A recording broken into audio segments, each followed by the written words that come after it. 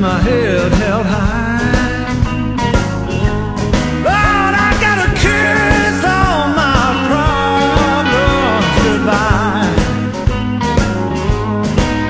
I've got to make my